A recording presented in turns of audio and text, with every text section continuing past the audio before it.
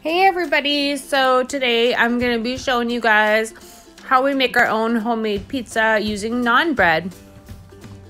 Here's a couple pics of the types that I've tried before. I think any type will work just fine.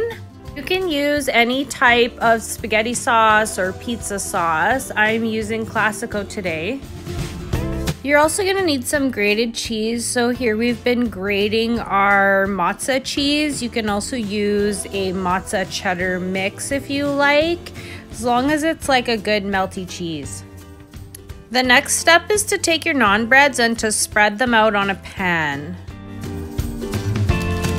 Then you want to put a little bit of spaghetti slash pizza sauce on every one of them. You can also use another sauce if you like.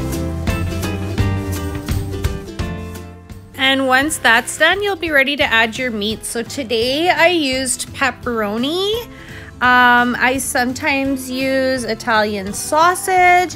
You can use ham and pineapples. Anything you like on pizza should go on at this time. And the next thing you're gonna wanna do, then you wanna put your cheese on top of your pizzas.